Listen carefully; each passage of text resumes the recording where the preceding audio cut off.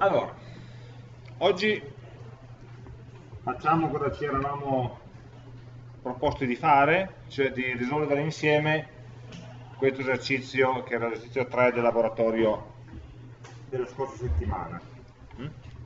Quindi un giochino, il famoso gioco dell'impiccato in cui bisogna indovinare una parola eh, segreta, no? che ha un gioco a due giocatori, per ora lo, lo pensiamo così, in cui uno inserisce una parola e un altro la deve indovinare. Ok? Eh, se volete possiamo dare una eh, veloce lettura al testo, eh, scrivere un programma per realizzare il gioco dell'impiccato, salto le parti non rilevanti, la parola segreta dovrà essere inserita manualmente dall'avversario all'avvio di ogni nuova partita all'interno di una text field, il cui contenuto sarà cancellato non appena premuto il tasto start perché ovviamente la parola non può rimanere visualizzata, altrimenti il gioco diventa un po' troppo facile. La pressione del tasto denota l'inizio della fase in cui il giocatore dovrà indovinare la parola segreta immessa. All'inizio di questa fase, all'inizio della text field indicata la parola, sarà mostrata la parola segreta con tutti i caratteri sostituiti con degli underscore. Una, fra una frase complicata per dire qua sotto nel campo parola compaiono dei trattini al posto delle lettere vere della parola che dovranno essere scoperte via via. Mm? La logica del gioco la conosciamo bene tutti. Eh, man mano che l'utente indovina le lettere presenti nella parola segreta, i caratteri corrispondenti saranno svelati. In caso di errore invece sarà incrementata sia la progress bar che il contatore numerico mostrato a fianco, che misurano gli errori, che sono questi due, la sbarra di progresso e il campo di testo. Ehm, la partita finisce se l'utente indovina la parola nascosta oppure se raggiunge il numero massimo di errori. In entrambi i casi dovrà essere mostrata la soluzione in un'apposita casella di testo che è questa qua sotto. Barra vabbè, il numero di errori massimo, non l'abbiamo detto prima, è uguale a 8. Mm. Questa è ehm, la regola del gioco e il tipo di esercizio che vogliamo svolgere.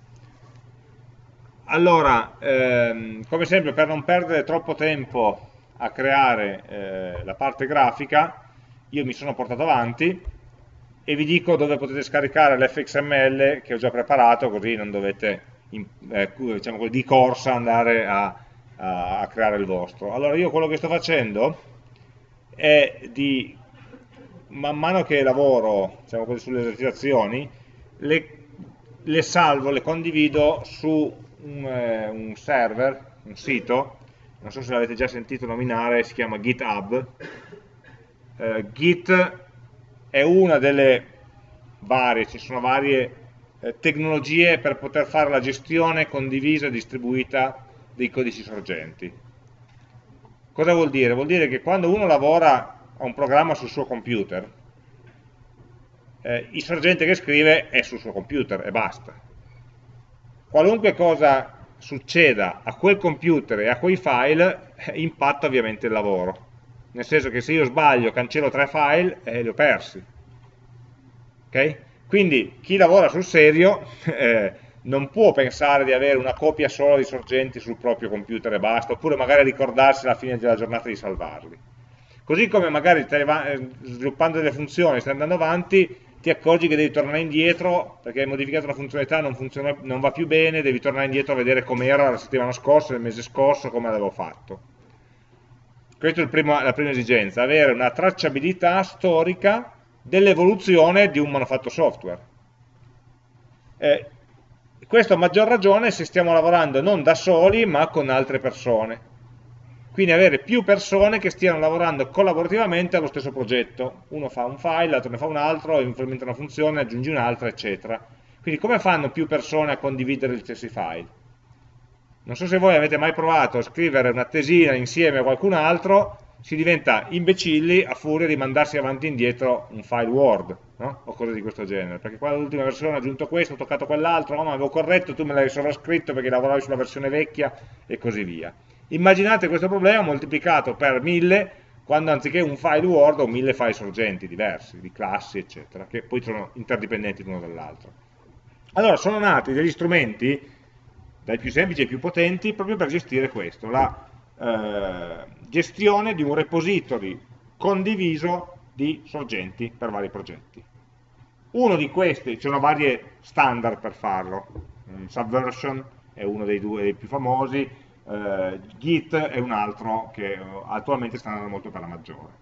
Per cui sia a scopo di backup mio personale, sia a scopo di condivisione con voi, eh, i progetti che via, sviluppo, che via via sviluppo, li salvo qua sopra, eh, in cui tra l'altro si possono vedere appunto, le varie eh, versioni, in questo caso io ho creato un progetto che si chiama così, il progetto il quale però ha più versioni. No, qui si vede la storia delle varie modifiche che ho fatto, in questo caso ci ho lavorato da solo, ma se qualcun altro avesse l'autorizzazione ad accedere a questo repository potrebbe scaricare il progetto, lavorarci in parallelo e, e, e condividere le modifiche. Mm? Adesso non ve la faccio lunga, è solo per citarvi che nel campo dello sviluppo software questo è uno strumento essenziale, ma in realtà lo sarebbe anche, io lo uso anche per scrivere documenti, un sistema di questo genere. Ti tiene traccia delle versioni, in ogni versione puoi andare a vedere che cosa, cosa hai cambiato, chi ha cambiato che cosa, e comunque hai sempre tutto salvato su un server, se a me io comincio a lavorare per dire in ufficio e finisco di lavorarci la sera a casa, semplicemente i file sono sincronizzati col server in cloud centrale e quindi non perdo mai nulla. Mm? Venendo a, a noi, a voi, all'esercizio, se voi andate a questo indirizzo, che adesso magari scriviamo più in grande,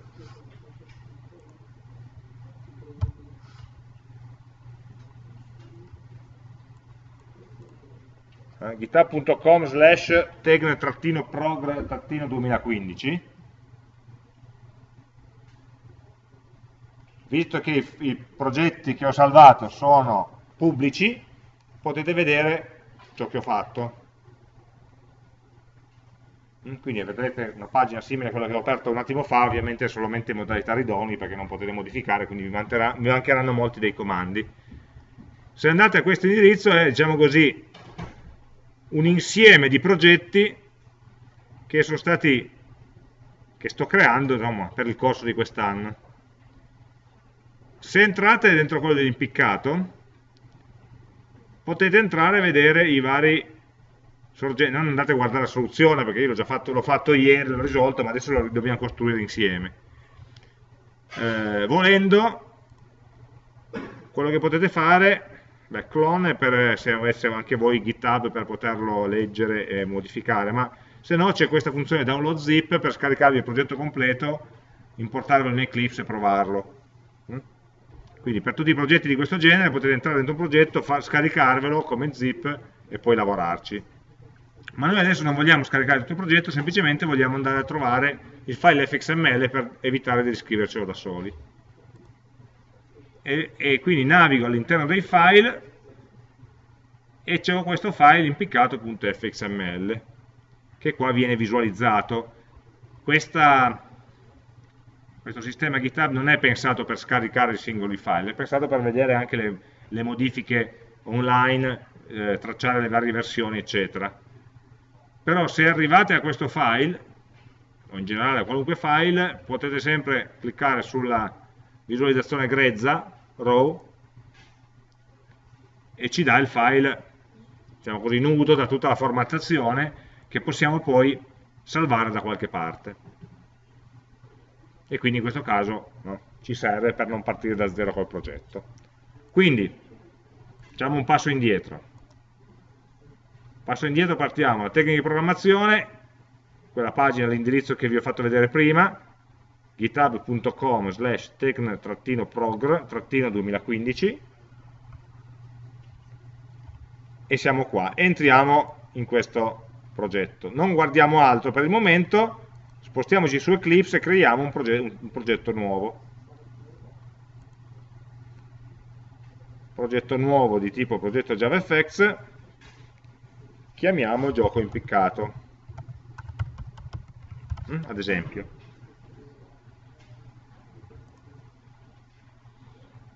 Qui rispondiamo alle domande di rito, particolare polito.tdp.com impiccato linguaggio fxml border pair mi va bene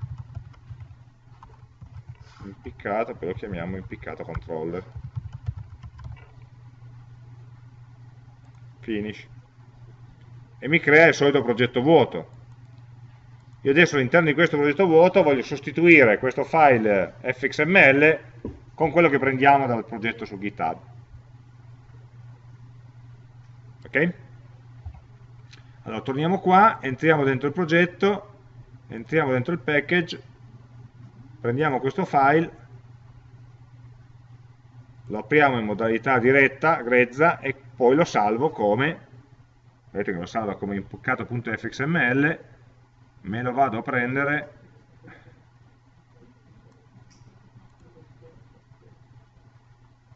dovrebbe essere qua, salvare ovviamente dentro il workspace di Eclipse esatto, al posto di questo. Mm, quindi sono andato in modalità raw e poi ho fatto tasto destro salva con nome e lo sto salvando direttamente dentro il progetto di Eclipse. Potrei salvarlo da qualche altra parte e poi copiarlo, fate come preferite. Ovviamente esiste, lo voglio rimpiazzare, sì. E quindi se torno al mio Eclipse aprendo questo file anziché trovarmelo vuoto me lo trovo già con delle cose dentro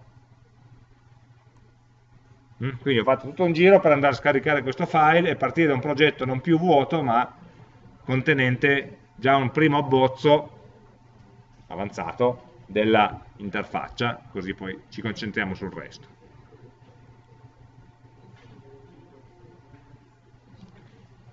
file che ovviamente possiamo aprire con il nostro caro SimBuilder e vedere come è strutturato.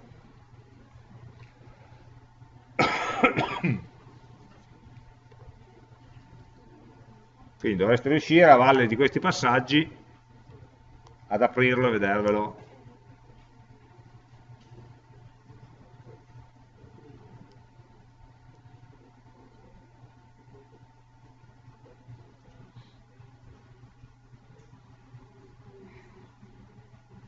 Ci siamo? Ci sono problemi?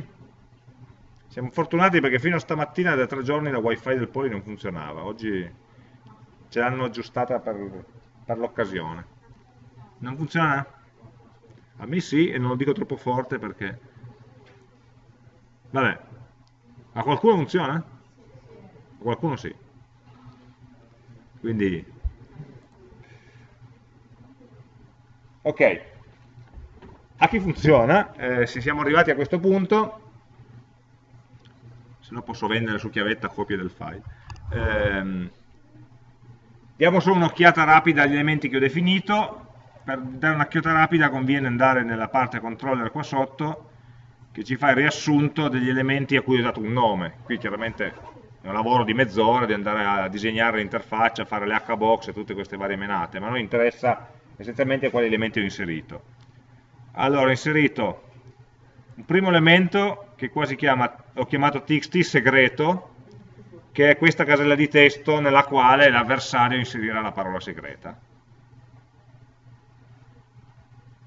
Poi un bottone start, che è questo, che ho chiamato button start, e al quale ho associato un evento, un gestore dell'evento, un action, che ho chiamato doStart. Mm? Scarsa fantasia come sempre, ma coerenza aiuta. Poi abbiamo questo campo che ho chiamato combo lettera, in cui ho inserito l'elemento combo box, cioè il menu tendina, ho chiamato combo lettera e ehm, basta per il momento dovremo poi popolarlo con le lettere dalla A alla Z, perché qui eh, a livello di sim builder non c'è nessun modo per dire qual è il contenuto di questa tendina.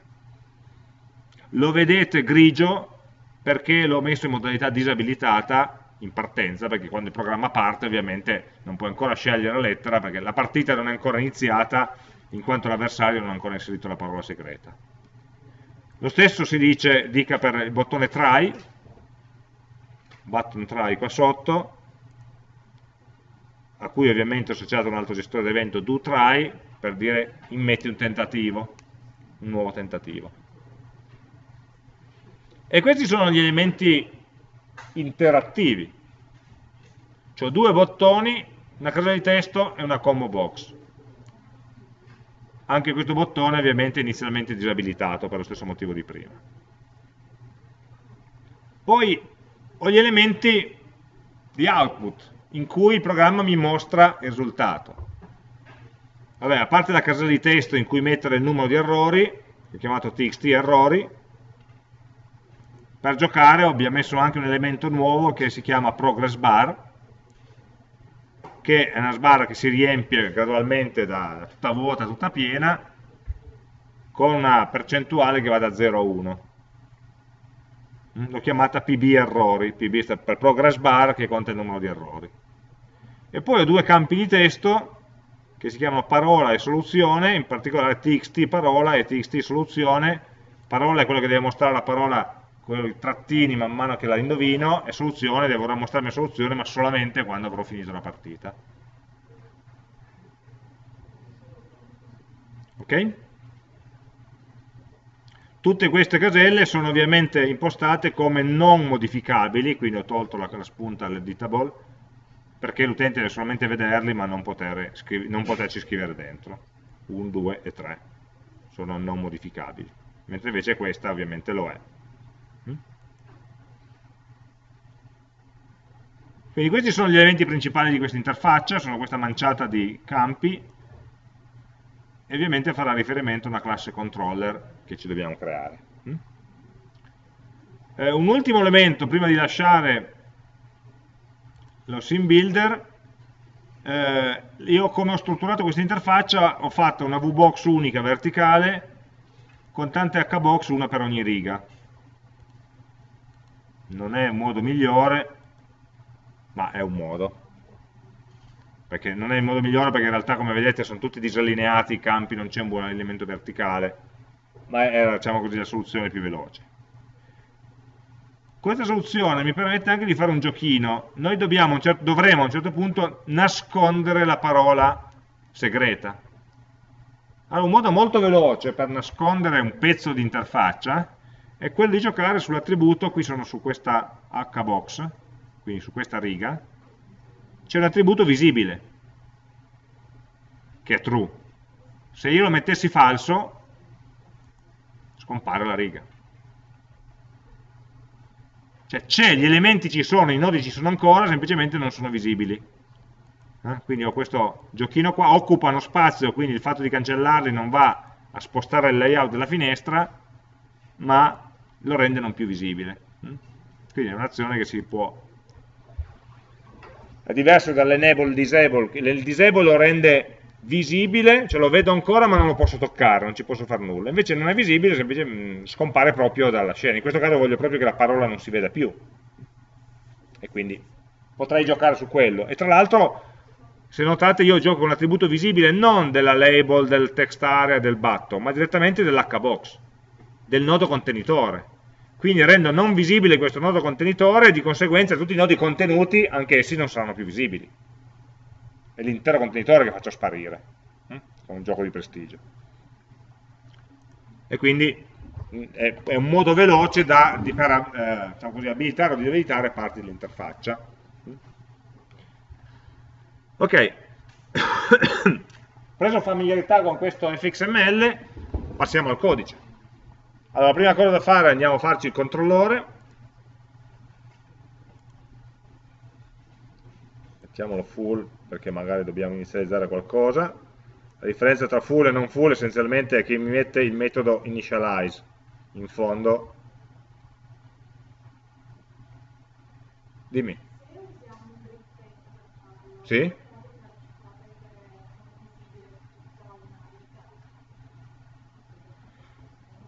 Eh, può darsi, bisogna andare a vedere se l'elemento grid row ha un attributo visible o no eh, possiamo andare a vederlo, De deve vedere se selezionando una riga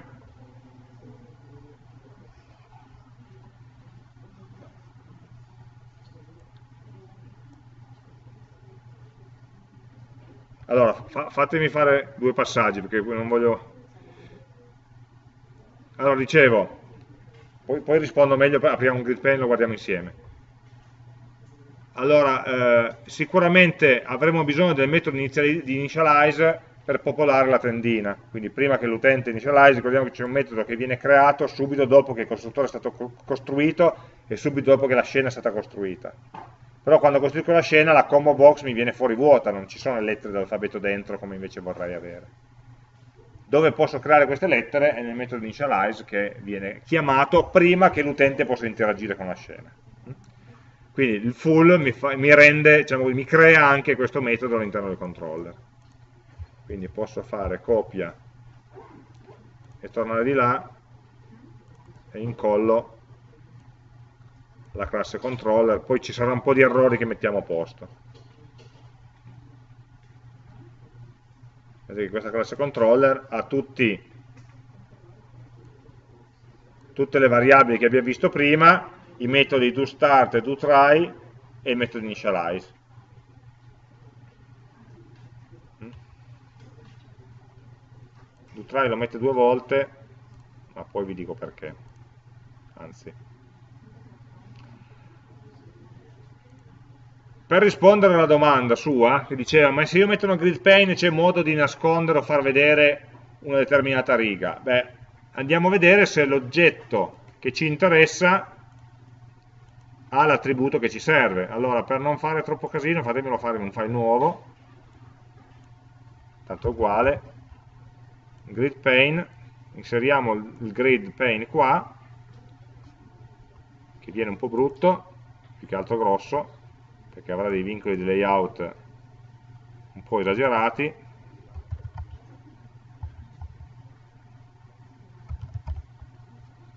e vediamo, vedete che allora nella grid pane io posso avere l'elemento grid pane che è l'intera griglia a cui posso poi aggiungere righe, aggiungere colonne, cancellare righe, cancellare colonne. Poi questo oggetto in realtà è composto da altri oggetti che sono le colonne. Vedete che se seleziono una colonna mi seleziona un oggetto che si chiama column constraints.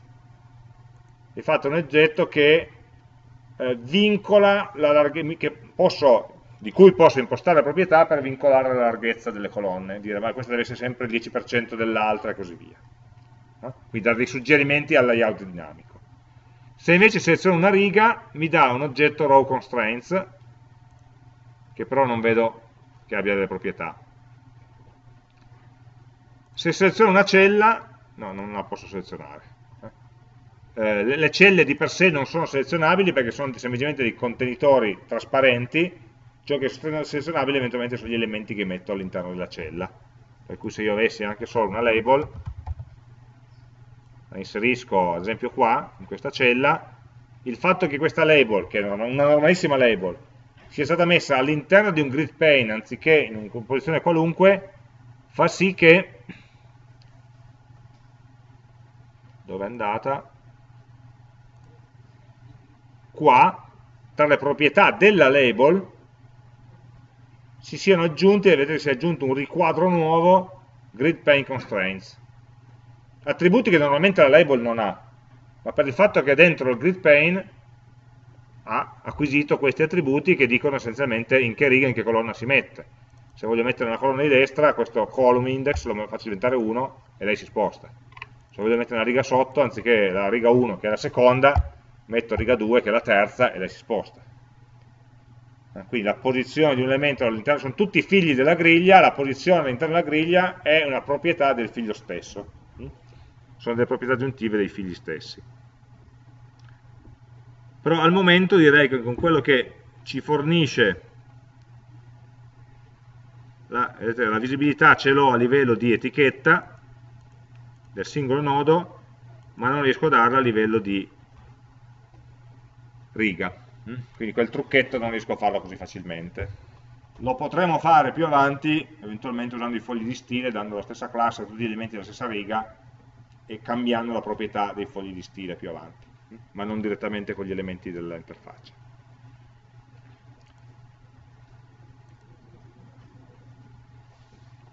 Ok, potrei sempre avere due grid pane una, una sopra l'altra e far scomparire l'intera grid pane da sopra e giocare con i vincoli di colonna in modo che quando lo allargo si allarghino nello stesso modo. Quindi questo è il trucco visuale hm? per non lasciarvi con la mare in bocca. Eh, ok. Fatemi ancora fare una modifica rapidissima a questo perché ci voglio arrivare dopo. Ok. Va bene. Veniamo a noi abbiamo il nostro controller come al solito ci sono un paio di, di errorini da correggere perché il sim builder nella versione attuale è un po' imperfetto ma noi sappiamo correggerlo Ecco, come sempre, quando abbiamo una combo box, e poi lo vedremo capitare anche per le tabelle, eccetera, quando abbiamo degli elementi che possono contenere oggetti di vari tipi. Allora, la domanda che ci dobbiamo fare è la nostra combo box che cosa contiene? Questo punto interrogativo significa che combo box è un tipo generico che può essere parametrizzato col nome di una classe. Classe che è relativa al tipo di oggetto che è rappresentato dalle righe della tabella in questo caso della combo box, che è sempre una tabella quando si apre, un menu a discesa. In questo caso dobbiamo solamente mostrare le lettere dell'alfabeto, quindi ci può stare bene uno string.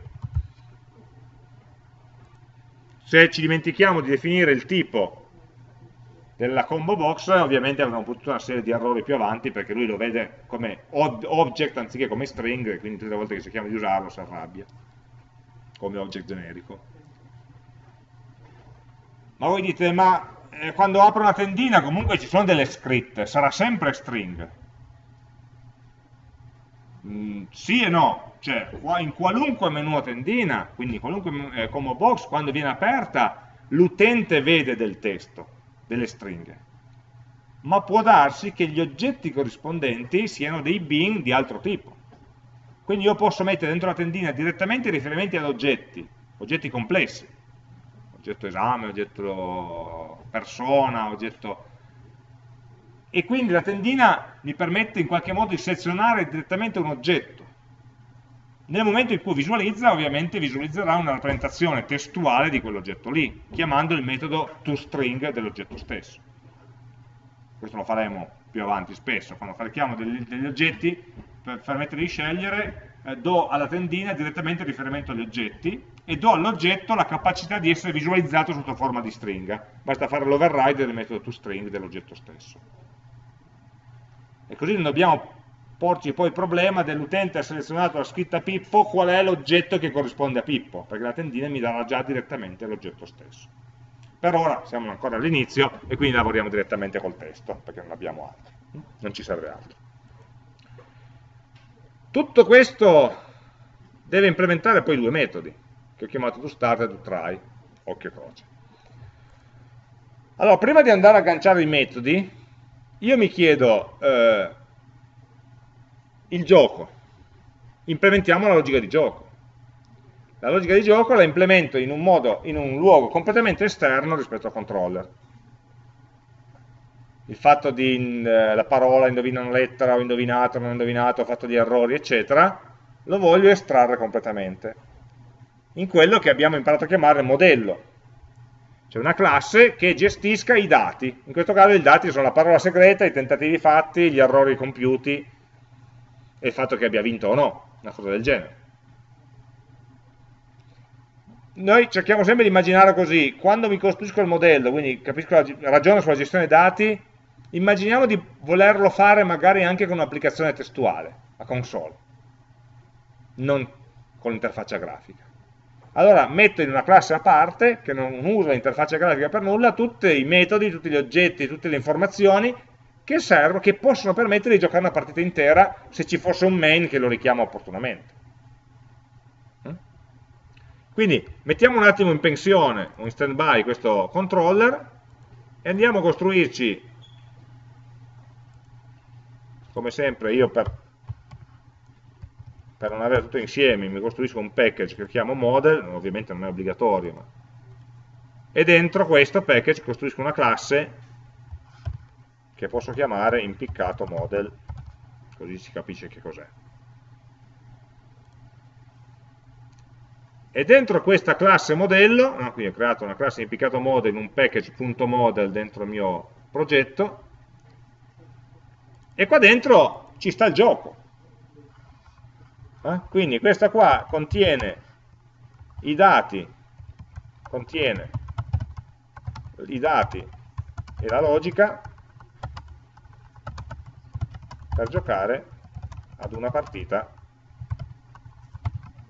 all'impiccato, al gioco dell'impiccato, ma fatemi abbreviare.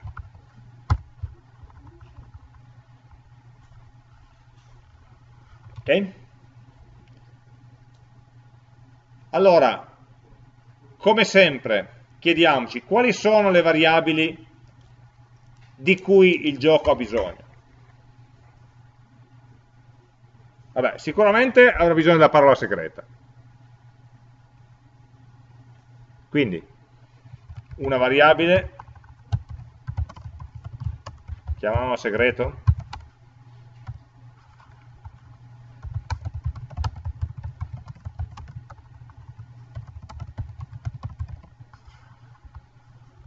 poi deve tenere traccia del numero di errori,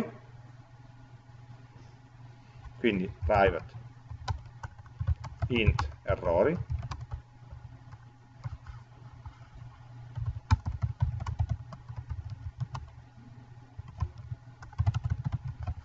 poi può esserci il numero massimo di errori,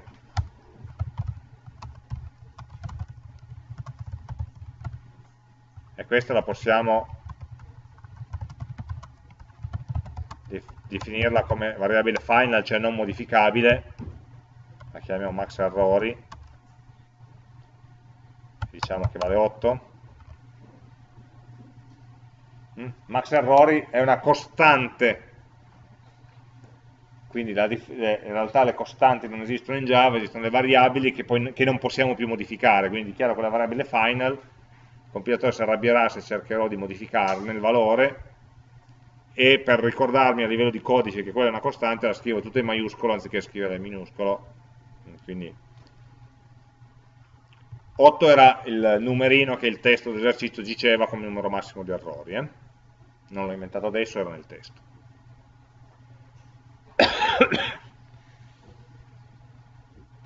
poi di che cosa ha bisogno il gioco? Beh, avrà bisogno di sapere quali lettere ho già provato e quali ho già indovinato in un certo senso. No? Quindi, eh, cosa ho già indovinato? Nel senso di, potremmo pensare alla parola che inizia con tutti i trattini e poi questi trattini poco per volta si trasformano in lettere. Io quando ho pensato a questo ieri l'ho chiamata maschera, La maschera è la stringa che contiene la parte di parola già indovinata. Cioè, ad esempio, parte con tutti i trattini e poi diventa, ad esempio, se questo qua quanti trattini ho messo? 1, 2, 3, 4, 5, 6, diciamo che sia scuola la parola, e ho inventato la C, trattino C, U, O, L, A. No? Cioè una stringa che di fatto sia quella che voglio visualizzare. Una combinazione di trattini per le lettere che non ho ancora indovinato e la lettera effettiva dove invece ho già indovinato. Quando questa cosa qua diventa senza trattini del tutto, ho vinto. Tenete presente che il numero di tentativi, o meglio, il numero di tentativi positivi, cioè di lettere indovinate, per vincere la partita non è uguale al numero di lettere. Cioè qui è una parola di 6 lettere, ma per indovinare tutte magari ce la faccio con meno di 6 tentativi, perché magari ci sono delle doppie. Ci fossero delle doppie, una C doppia, scrivo C e indovino in un colpo solo due posizioni. Quindi non mi basta sapere quante lettere ho indovinato, ma devo sapere anche quali, o meglio ancora quali restano da indovinare. E poi una cosa utile da avere è quali sono i tentativi già fatti, perché dire una lettera che c'è nella parola ma che ho già detto prima è comunque un errore. Quindi devo sapere quali sono le lettere che ho già detto prima. Quindi, quali lettere, tentativi sono già stati fatti? E come lo rappresento questo? È un insieme di lettere. Non possiamo usare la classe set che abbiamo visto insieme la settimana scorsa. Un set di cosa? Di string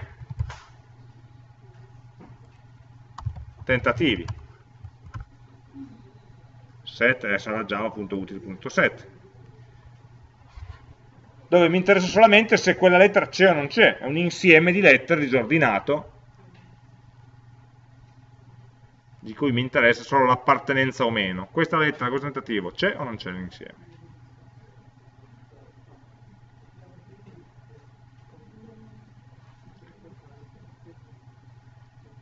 Diciamo che le prime tre di queste variabili sono ovvie, nel senso che ci vengono in mente subito.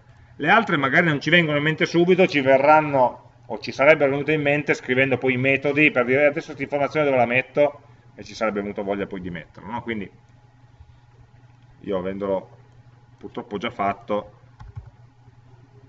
ci ho già pensato abbastanza da poter no, vedere questi, la necessità di queste variabili. Dopodiché questa classe qua deve incapsulare le mosse possibili del gioco. Vabbè, sicuramente dovrò definire un costruttore, no? public impiccato model. E il costruttore cosa deve fare? Vabbè, diciamo che porta la classe in uno stato base di partenza, sano, senza il null pointer, eccetera, eccetera. In particolare qui ho una collection e mh, mm, facciamo in modo che mi crei una collection vuota, un set vuoto. Quindi il lavoro principale che deve fare questo signore è tentativi uguale new, new di cosa? Allora devo creare una nuova eh, istanza di un set. Set è un'interfaccia, ovviamente. Vedete che java.util.set a fianco alla i, vuol dire quella è un'interfaccia. Quali sono le implementazioni possibili? Eh, quali sono le implementazioni possibili? vediamo che c'è un sorted set, un, no, un sorted set è a sua volta un'interfaccia. Le due implementazioni dirette sono hash set e tree set. Ma visto che noi non abbiamo ancora parlato di alberi, ma invece abbiamo parlato di hash, possiamo usare tranquillamente un hash set che abbiamo già visto. In realtà anche il tree set lo potremmo usare perché il vantaggio delle interfacce è che il tree set dentro è una cosa completamente diversa rispetto hash set, ma si usa nello stesso identico modo. Va bene. Hash set di string sempre set ovviamente deve avere, essere importato quindi creiamo questo insieme vuoto e poi possiamo impostare dei valori segreto uguale stringa vuota giusto per, perché al momento è un null pointer quindi evitiamo il null pointer così abbiamo meno eccezioni da gestire errori uguale 0. In realtà errori è già uguale 0 quando lo dichiaro, perché in Java ogni variabile viene inizializzata automaticamente, ma possiamo anche essere espliciti.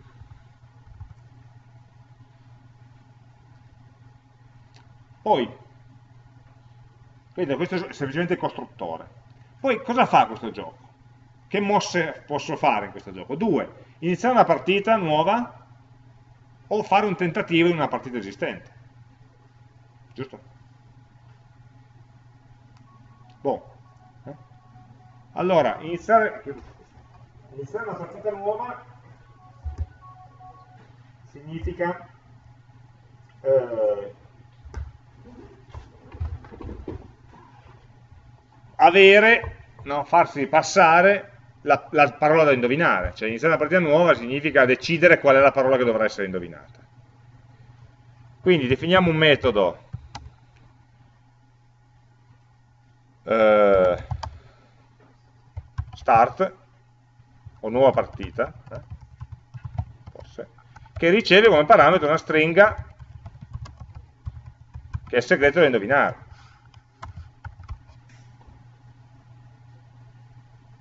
Giusto? Corrisponde a quando l'utente schiaccerà il bottone nuova partita, start. E cosa devo fare qua? De beh, dovrò innanzitutto memorizzarmi il segreto, quindi this.segreto uguale segreto, Ups. Poi rimetto a zero gli errori, ovviamente perché sto iniziando una partita nuova, i tentativi. Qui magari è la prima partita, ma magari semplicemente la seconda, la terza, la quinta partita devo ripulire ciò che avevo dalle partite precedenti. Quindi insieme ai tentativi lo vado a svuotare, clear, che è il metodo che funziona su tutte le collection, e anziché creare una collection nuova, vuota, a zero quella che ho, no? pulisco quella che ho. E poi devo ancora inizializzare maschera inizializzarla mettendo tanti trattini quanti sono le lettere della parola segreta. Quindi posso dire che la maschera uguale stringa vuota, se già non lo fosse, e poi per tutti i caratteri int i uguale 0 i minore della lunghezza della parola segreta. i più più maschera uguale maschera più trattino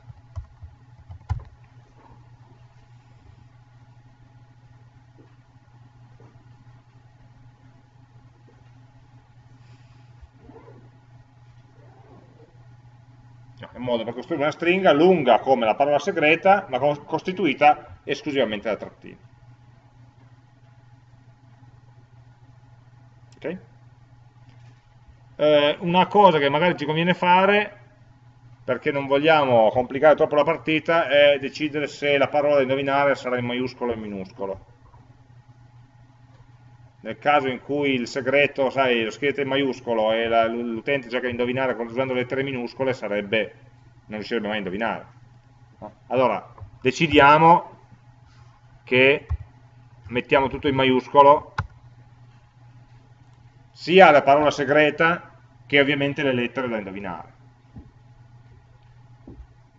Quindi se anche l'utente l'ha inserita in minuscolo, in realtà internamente lavoriamo solo con le lettere maiuscole, così evitiamo di impazzire ogni volta a controllare mai una A minuscola o una A maiuscola. Internamente sarà tutto maiuscolo sempre. E qui ho inizializzato una partita nuova.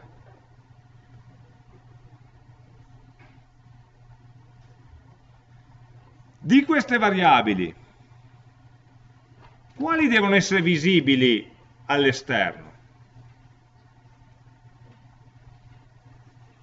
Cioè se devo mettere i metodi get, finora non ho fatto i metodi get e set di questa classe. E questo non è un Bing, non è un oggetto stupido che serve semplicemente per ricordarsi dei dati. È una classe che ha una sua logica. Quindi certe cose le posso fare, certe altre no. Non sarebbe, ad esempio, bello esporre all'esterno la classe, cioè il, la, il set tentativi.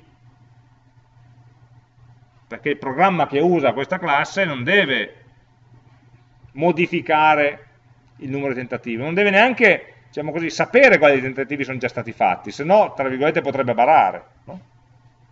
Così come anche la classe segreto, la parola segreta non dovrebbe essere rivelata da questa classe. Non devo dirlo, no? Quindi non mi serve un get segreto. Mi servirà sicuramente un get errori, mi servirà un get maschera, perché questo deve essere visualizzato. E quindi possiamo magari inserire qua sotto decidere non a a tappeto get e set di tutto. Ma ad esempio la, la variabile errori Voglio offrire un set errori? No, perché se no dall'esterno qualcuno me lo resetta, me lo mette a un valore che non dovrebbe esserci, solamente il get. La maschera anche. Massimo errore lo posso dare visibile, vedete che c'è solo il get già perché l'avevo dichiarato final, quindi non sarebbe comunque possibile modificarlo. La parola segreta e il numero di tentativi, scusate, l'insieme dei tentativi fatti non li espongo all'esterno, li tengo privati per me. Non hanno bisogno di essere noti.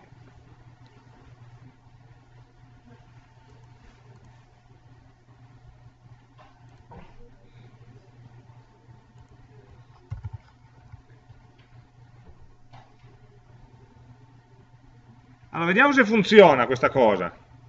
Proviamo a fare qualche, un primo test. Allora, senza andare ancora a agganciare al controller, prendiamo l'abitudine, soprattutto nelle classi complesse, di dotare ogni classe del suo main senza fare JUnit, che necessariamente ci porta magari via del tempo, ma una, un metodo main in ciascuna classe che serve per testare i metodi principali di questa classe. Public static void main uh, string args.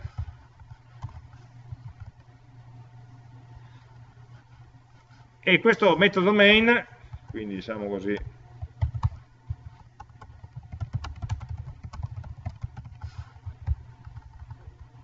proviamo a creare un'istanza di me stesso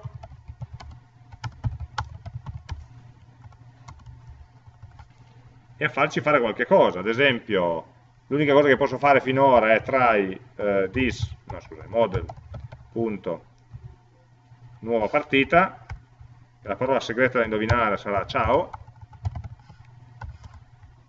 e vedo se il model mi ha correttamente calcolato la maschera, ad esempio.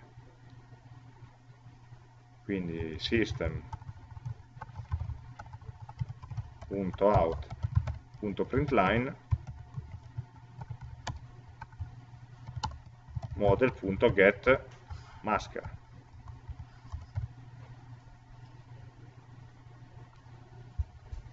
E mi aspetto di vedere quattro trattini.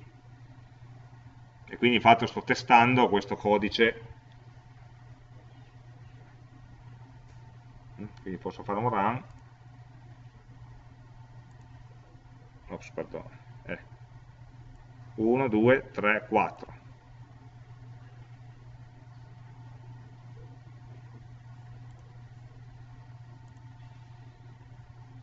ok? E soprattutto con le classi complesse abituiamoci a dotare ogni classe di un main e man mano che sviluppiamo metodi all'interno di questa classe aggiungiamo delle chiamate a questi metodi dal, dalla classe main per verificare che tutto sia a posto. Poi ovviamente questo main non verrà chiamato dall'interfaccia grafica, semplicemente sarà un metodo lì che rimane morto, ma quando lo vogliamo lo, lo, lo, lo richiamiamo. Questo è il grosso vantaggio anche di avere un modello che non ha bisogno di grafica, funziona da solo, non ha bisogno di nulla per, per girare. Ok, quindi sappiamo, o pensiamo di sapere, di essere capaci a creare una partita nuova, adesso dobbiamo gestire il tentativo. Tentativo che riceverà una, un una stringa, chiamiamola tent, tenta. Eh, questo qui potremmo far restituire un boolean che mi dice se il tentativo è andato a buon fine oppure no.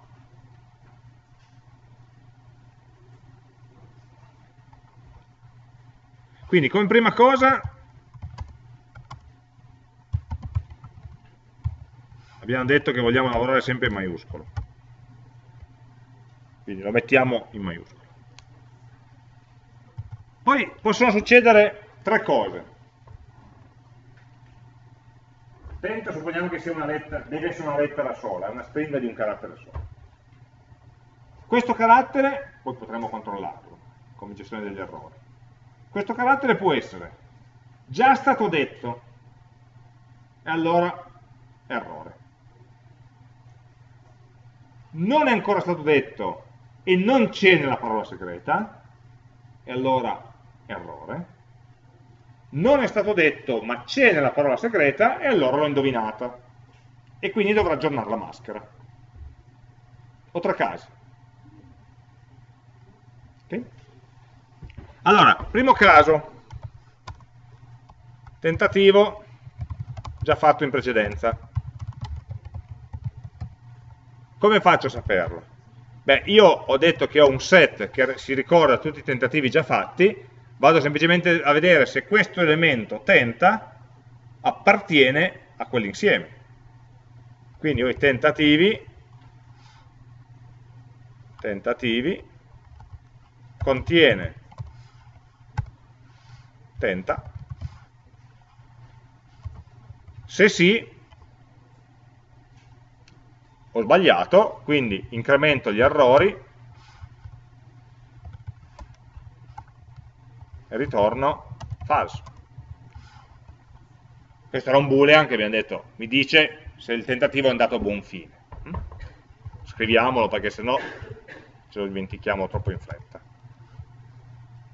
Compie un nuovo tentativo, permette, eh, cerca, oh, verifica se il tentativo fatto è corretto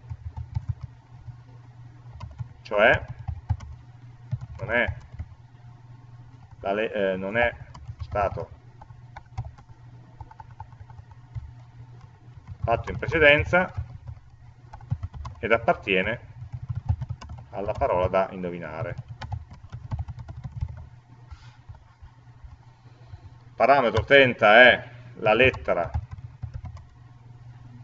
che sto tentando di indovinare e il valore di ritorno è falso se errore, true se tentativo corretto.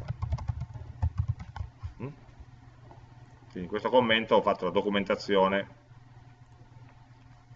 di questa funzione. lui si arrabbia, continua a dire rosso perché ci sono dei casi in cui questa funzione che deve ritornare un booleano non ritorna nulla. Quindi finché non, abbiamo, non avremo messo tutti i return in tutti i casi possibili sarà sempre arrabbiato. Eh? Dopodiché, primo caso, primo eh, errore, tentativo già fatto. Secondo errore, oppure verifichiamo se a questo punto la lettera c'è o non c'è. Verifico se la lettera esiste, è presente. A questo punto sono sicuro che la lettera non l'avevo già chiesta prima però devo ricordarmi che l'ho chiesta adesso. Allora quello che dovrei fare è tentativo tentativi.add di tenta. Adesso non c'era l'insieme, ok, adesso l'aggiungo, quindi se per caso ci riprovi subito dopo sarà un errore. Indipendentemente dal fatto che la lettera ci sia o non ci sia, nella parola. Però se l'ho già tentata prima, Invece se non l'ho tentata prima, mi ricordo che è già stata tentata. Ovviamente questo add lo faccio solo dopo che ho verificato che non era già stata eh, fatta in precedenza. Adesso vado a controllare se la lettera, se il tentativo è presente nella parola segreta. Allora, anche le stringhe hanno un metodo contains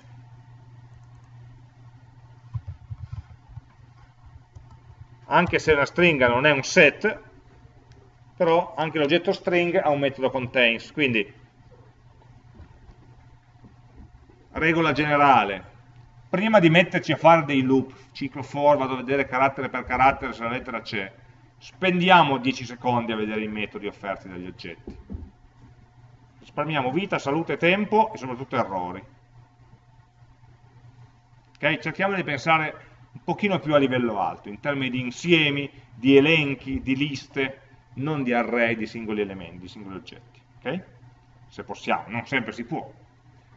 Allora, in questo caso ho due, due possibilità. O la, il tentativo tenta è contenuto dentro la stringa segreto, cioè il segreto contiene il tentativo, allora, ok, tentativo buono. Altrimenti, altrimenti avrò un errore di nuovo.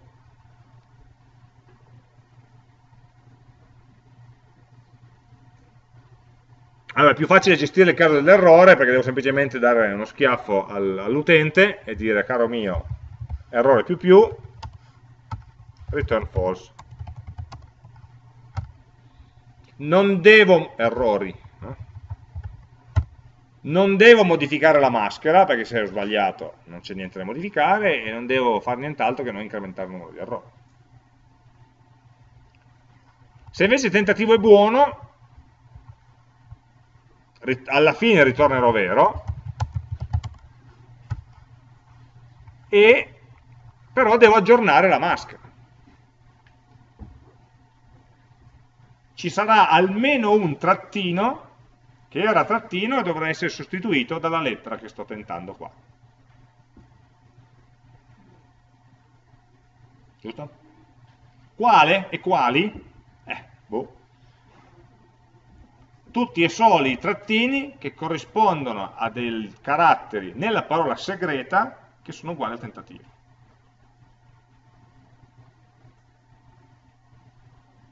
Quindi io vado a vedere lettera per lettera la parola segreta, qui ne devo fare un ciclo. Eh. Tutti i caratteri della parola segreta, quindi segreto.length, i minore, i più più,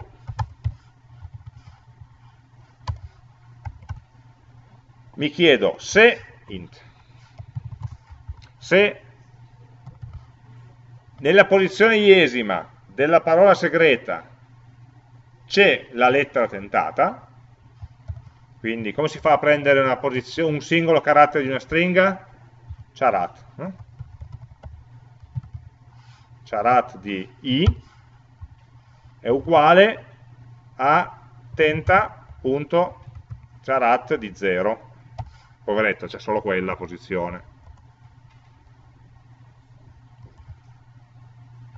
Allora, se c'è quel carattere, quindi il carattere tenta.cerare di 0, cioè il tentativo, è nella posizione iesima della stringa segreta, allora la lettera tentata è in posizione i.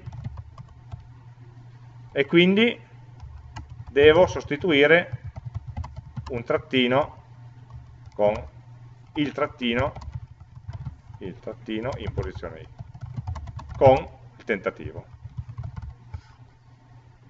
Quindi se I vale 6 dovrò nella, parola, nella mia maschera sostituire il trattino che c'è nella posizione 6 con la lettera tentata. Quindi maschera. Allora, sarebbe bello se potessi scrivere questo. Dico sarebbe bello perché non si può.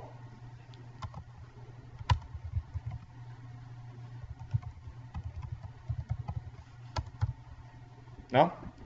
Io devo modificare l'iesimo carattere della maschera sostituendo a quello che c'era prima quello del tentativo.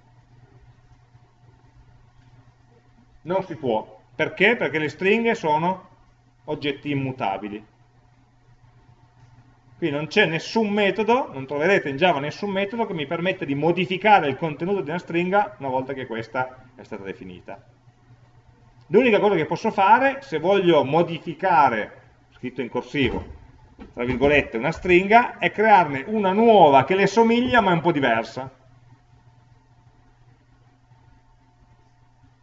Ok? E poi magari riassegnarla alla stessa variabile.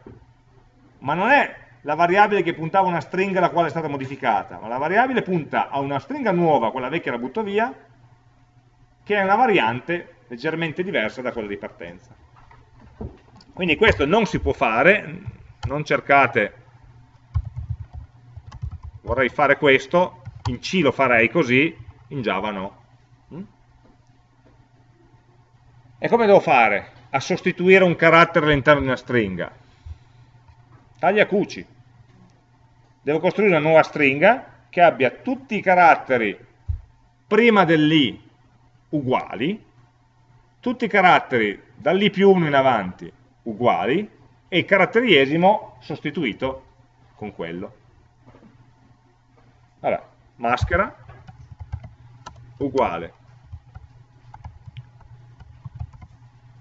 Tutti i caratteri dallo 0 all'i-1 Cosa uso? Uso un metodo substring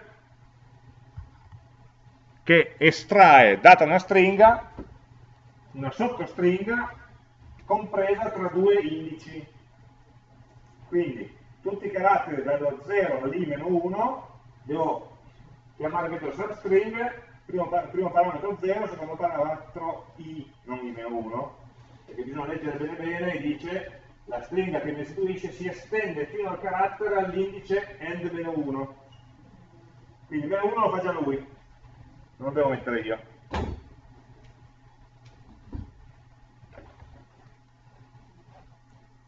ogni secondo che spendete a leggere la documentazione sono 10 secondi risparmiati poi all'esame, quando programmate, eccetera. Ma bisogna diventare amici con questi metodi, che vuol dire leggere cosa fanno, leggere la spiegazione, se è più complicato leggersi gli esempi e così via. Mm? Quindi abituatevi a leggere le, le documentazioni e non le slide o cose del genere, perché dicono molto di più, mm? dice tutto. Quindi, substring da 0 a i-1 concatenata col tentativo concatenata eh beh, con la coda. Con ciò che c'è dalla posizione i più 1 in avanti. Punto substring. Questa volta mi, mi basta la prima variante del metodo substring che è solamente l'indice di inizio. Se metto solo l'indice di inizio e non l'indice di fine, uh, extends to the end of the string. Cioè va fino alla fine della stringa, quanti ce ne sono me ne mette. Quindi io basta che parta dalla posizione i più 1 fino in fondo,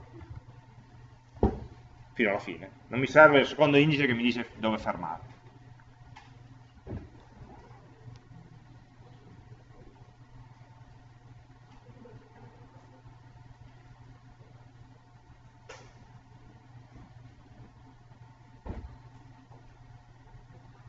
Allora, questa cosa qua sono due righe di codice, però non siamo sicuri che funzionino, le testiamo.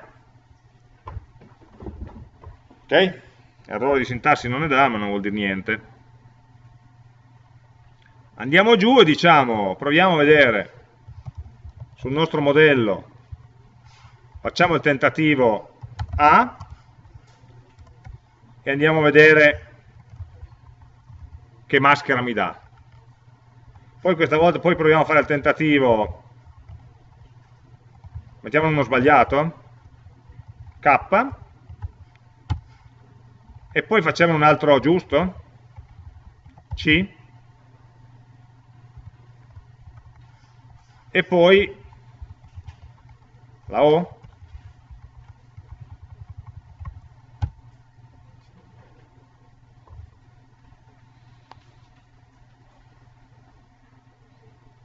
Quindi il programma gioca da solo, si diverte un casino a cercare di indovinare la parola.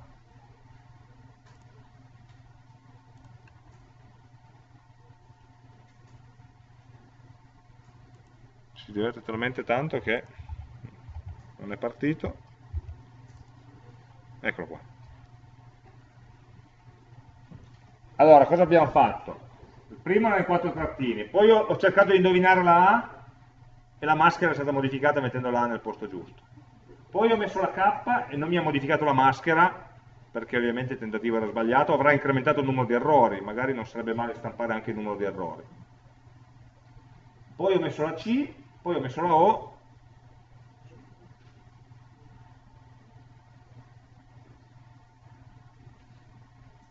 ci ho tenuto a fare tre, almeno tre prove Vabbè, qualitativamente due, cioè una giusta e una sbagliata. Ma di quelle giuste, vedete che ne ho fatte tre, una in mezzo, una all'inizio e l'altra alla fine. Perché giocando con gli indici i-1, i più 1, è facile sbagliare. Per cui voglio verificare che se indovino la prima lettera va bene, se indovino la seconda lettera va bene lo stesso, l'ultima anche, eh, che non mi dia un'eccezione del tipo indice out of range, no? perché cerco di prendere... Eh, per dirne una, quando io prendo la O, ok, che è l'ultima lettera, qui avrò un metodo substring col parametro con i che vale 3, 0, 1, 2, 3, la quarta lettera, i più 1 vale 4. Quindi sto facendo una sottostringa che parte dal carattere 4, il quale non esiste nella stringa però, perché la stringa è solo carattere con indice 4 sarebbe il quinto, eh? E non esiste. Allora, substring cosa fa nel caso in cui gli passi un indice eh, che è già oltre alla fine della stringa? In realtà mi dovrebbe dare un'eccezione, c'è scritto. Cioè mi dà un'eccezione se begin index è negativo oppure più grande della lunghezza di questa stringa. E invece non me la dà. Boh, si vede che questa implementazione è più conservativa della, oppure magari uno, una, un carattere in più lo tollera. In teoria dovrei gestire, se avessi letto bene la documentazione, questo caso qui dell'ultimo carattere lo dovrei gestire come caso parte.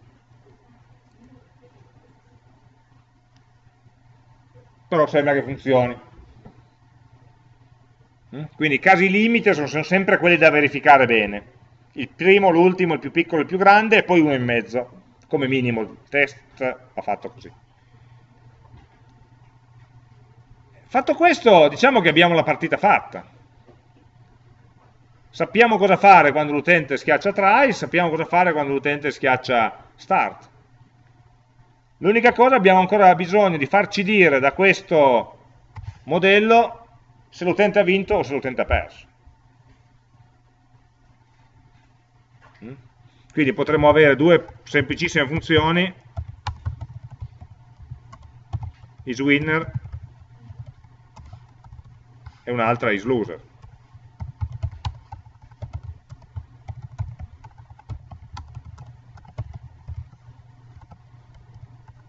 Eh, ovviamente is loser non è il contrario di is winner, perché winner ha vinto, loser ha perso, ma tutto ciò che sta in mezzo sta ancora giocando. Cioè ha già iniziato la partita, non ha ancora vinto, ma non ha ancora esaurito tutti gli errori che poteva fare.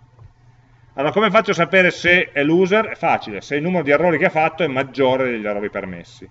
If errori, beh, if, non serve if, return errori maggiore o uguale max errori.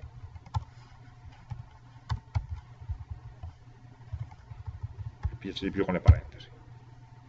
Cioè se errori è maggiore o uguale al numero massimo di errori, non dovrebbe mai diventare maggiori, maggiore.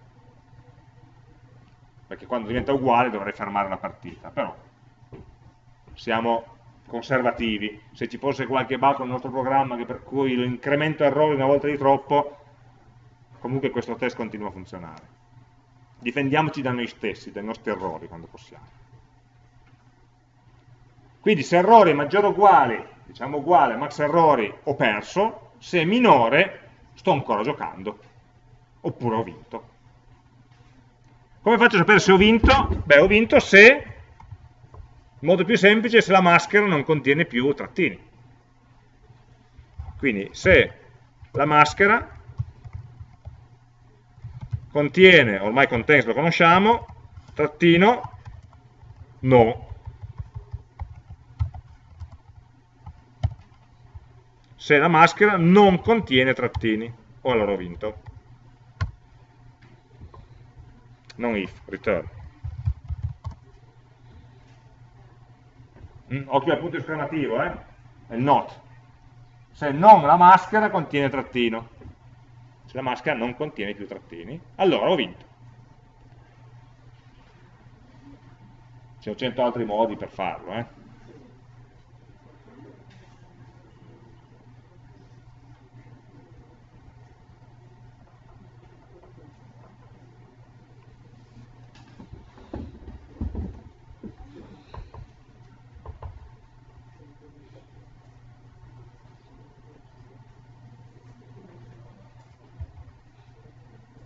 Allora, adesso abbiamo il modello che fa tutto ciò che ci serve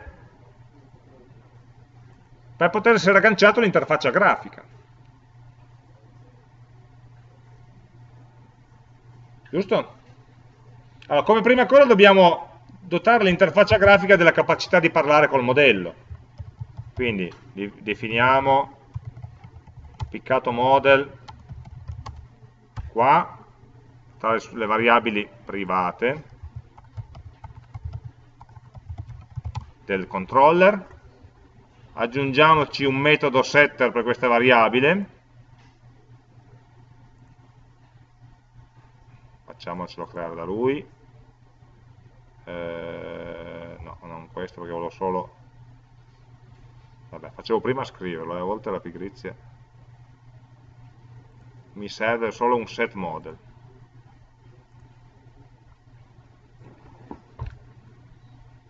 che dovrà essere chiamato dal main e quindi devo andare ancora a modificare il main in modo da solite modifiche al loader che abbiamo visto insieme la volta scorsa quindi mi permettete le faccio velocemente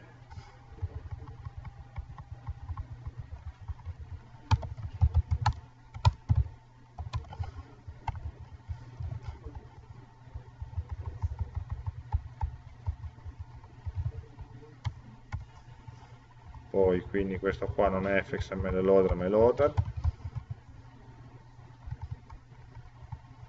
Quindi abbiamo questa è la vista.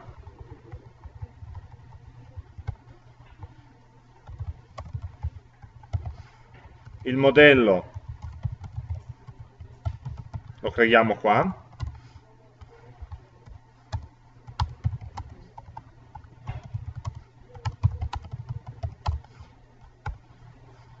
e controller.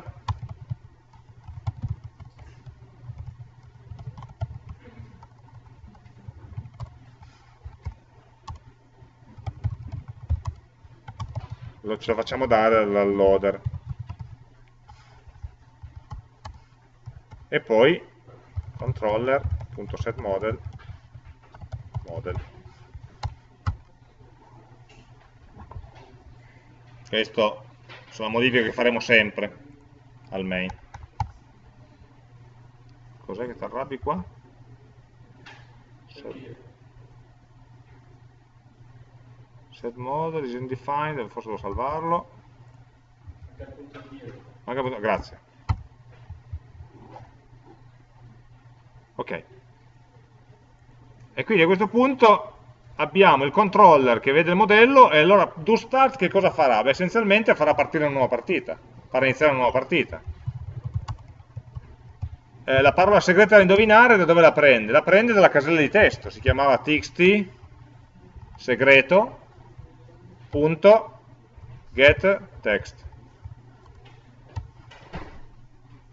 e poi chiede al modello, quindi estrae, qui dovrei, dovrei, fare i controlli che la parola non sia vuota, che non sia nullo, che non sia troppo lunga, che sia composta solo da lettere alfabetiche, ma non ce la facciamo in questi 5 minuti, però possiamo fare partire nuova partita con questa parola segreta.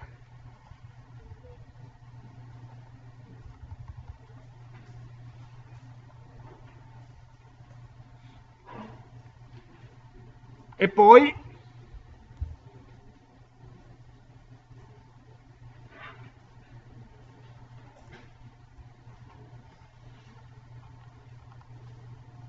poi dovremo alla gestione del tentativo sul try eh, fare un tentativo. Quindi model.tentativo dell'evento qual è? Beh, è il valore della tendina quindi si chiama combo box.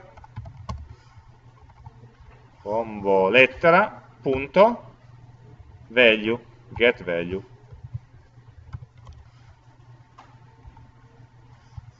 Eccolo qua.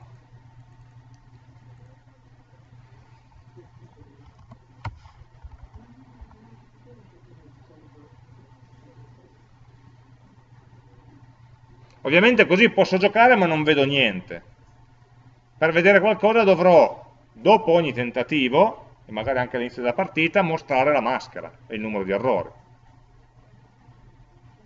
Quindi mostrare la maschera non è altro che fare txt maschera, txt si chiamava parola se non sbaglio, setText di model.getMaschera.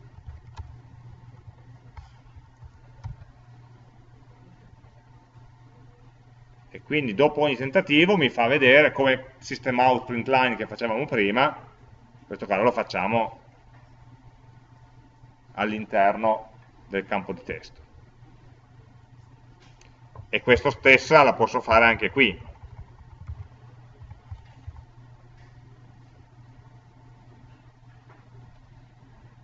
Poi l'altra cosa che dovrò fare qui, quando inizia la partita, è abilitare il bottone e la combo box, perché partivano disabilitate, vi ricordate. Quindi quando parte la, la nuova partita, combo parola, combo lettera, punto, set disable falso, e button try set disable Oops. button try set disable. Falso, non più disabilitati. E nello stesso tempo posso rendere invisibile la prima riga. Dicevamo, che si chiamava se non sbaglio box qualcosa. Box segreto, punto, set visible. False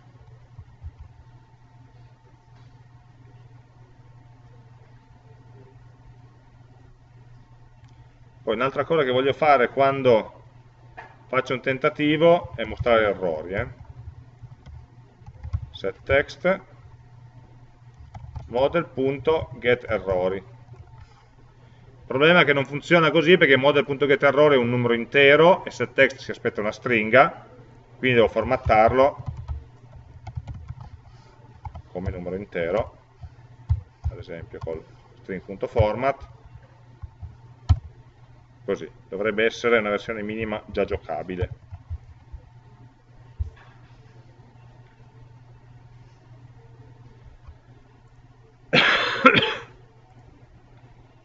Proviamo a farlo partire, parola da indovinare, ciao, clicco su start, dovrebbe prendermi ciao e chiamare avvio partita. Sappiamo già che avvio partita con ciao funziona. Eh? Mi aspetto di vedere quattro trattini qua sotto, è comparso lo scegli. Adesso ci siamo dimenticati di riempire la tendina, mannaggia. E quindi non possiamo ancora giocare. Riempire la tendina significa nel controller combo lettera allora eh, ogni elemento di questo genere che contiene degli altri elementi, in questo caso ha sempre un campo items. Items. Il campo items è una lista, una lista strana, observable, più avanti capiremo. Allora, o possiamo creare una nuova lista, oppure la cosa più semplice è quella di aggiungere qualche cosa in questa lista.